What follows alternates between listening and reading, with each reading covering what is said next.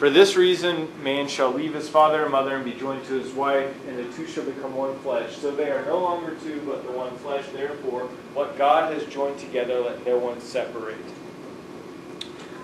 Then in the house, the disciples asked him again about this matter. He said to them, Whoever divorces his wife and marries another commits adultery against her. And if she divorces her husband and marries another, she commits adultery. So, why does Moses permit divorce? Why does the law originally permit divorce? What's Jesus literally say here? What's the phrase in the text? Their hardness of heart. The hardness of your heart. Which is kind of like saying, well, because you guys are a little bit of, you guys are kind of jerks. Human beings are jerks. Human beings are weak. Human beings make bad decisions. So God or Moses gave you an escape clause. If you get stuck in a marriage that's not good, you have that escape clause. However, is that ideal? No. It's only if you get in a bad marriage. What is ideal? Right? To stay married.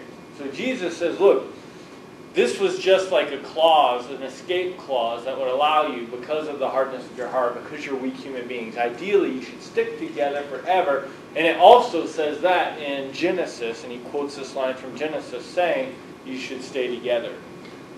And he goes on to say that if you if you divorce what and remarry, what is it? Right? So if I cheat on my wife, that's adultery. If I divorce her and get remarried, that's adultery too, according to this passage in Mark. Then why would he say divorce was okay, but yet if you're gonna like marry somebody else, you're committing adultery? No, Jesus doesn't say divorce is okay. Moses and the law says divorce is okay. So Jesus takes the teaching of the law and Jesus kind of says, well, the law is a little bit too easy. You guys should follow godliness more strictly. So Moses says you can divorce the husband, you can divorce the The- wife, the Jesus divo- says it's No divorce. Yep. Okay. However, in Matthew, Jesus doesn't say this. But we'll get to that later on. Jesus says something different in Matthew. In Mark, Jesus says any divorce and remarriage is adultery. In Matthew, Jesus says, well, yeah, there's some exceptions. But there's no exceptions made here. This is Jesus on the law. Let's look at another teaching on the law. Chapter 12. Starting with verse 28. 1228. Are you volunteering to read, Jackie? Yeah. Okay, 1228. One of the scribes came near, came near and heard them speaking with one another, and seeing that he answered them well, he asked him, Which commandment is the first of all? Jesus answered, The first is, Hear, hear, O Israel, the Lord of our God, the Lord is one. You shall love the Lord your God with all your heart and with all your soul and with all your mind and with all your strength. The second is that you shall love your neighbor as yourself. There is no other commandment greater than these. Then the scribe said to him, You are you are right, teacher, and you have truly said that he is one. And besides him there is no other. And to love him with all your heart and with all your love. Besides him, Lord. To love him with all your heart and with all the understanding and with all the strength. And to love one's neighbor to oneself. This is much more important than a whole burnt offering and sacrifices. When Jesus saw that he answered wisely, he said to him, You are not far from the kingdom of God. After that, no one dared to ask him anyway. Any questions? Okay. There's a bunch of different stuff in the Torah about all the stuff that you're supposed to do, right? There's rules about divorce, there's rules about X, Y, and Z, there's rules about um, if you're menstruating, you have to correct for that by going, taking two doves to the temple and sacrificing them. Jesus says all the all the laws boil down to what two things?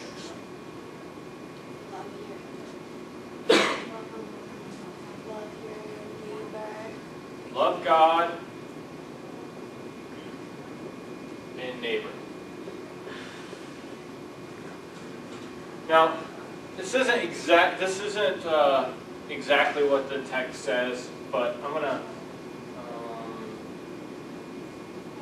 distinguish between like the letter of the law and the spirit of the law. Jesus seems to say like the spirit of the law is love God and love your neighbor. The letter of the law may permit divorce. The letter of the law may say you have to go to the temple and do all these sacrifices. But the spirit of the law, the essence, is love God and love your neighbor. And that's what's really important. Now, Jesus was not original in having said this. There's a story about, um, oh shoot, what's his name? Hillel. Have you guys ever heard of like Hillel campus centers? Like I think that there's a Hillel center that they just started here on campus. Well, the name Hillel goes back to this guy who was basically a contemporary of Jesus. And according to the story, someone asked Hillel, um, I want you to teach me the law. And Hillel says, okay, I'll teach you the law.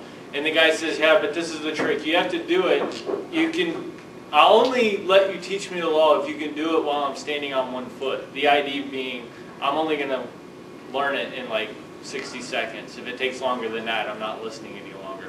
So Hillel says, okay, that's easy. Love God and love your neighbor. That's the essence of the law.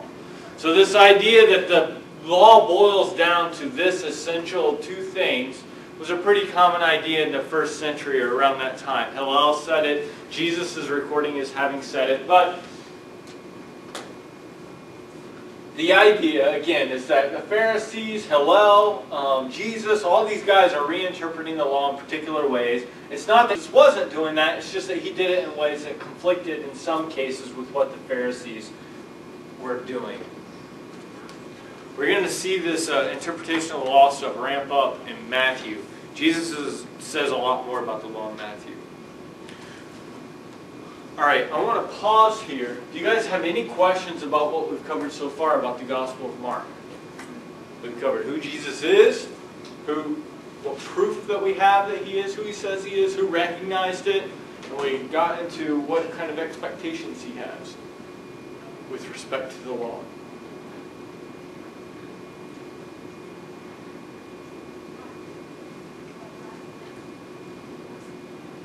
All right. Well, what I want you to do is while I'm erasing the board, I want you to ask yourselves, what does Jesus demand of his followers? Because that's our next question. What does Jesus demand of his followers?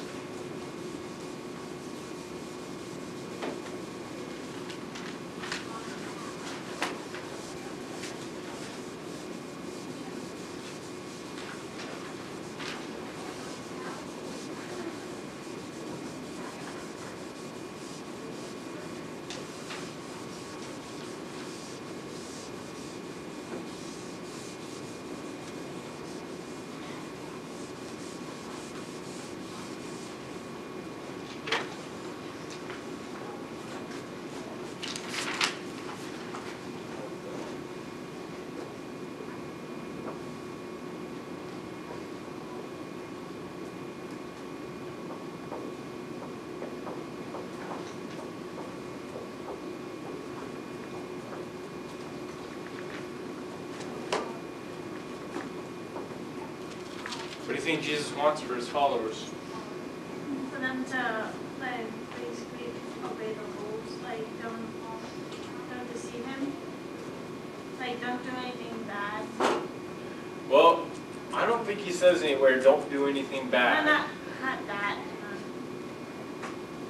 Maybe just like their faith in him. It doesn't really say have faith in me. That's something that's conspicuously absent because that's what the Catholic Church says, right? What's fundamental to be a follower of Jesus is to believe in him. Jesus never says believe in me in the Gospel of Mark. He says that in another gospel, but he never says that in the Gospel of Mark.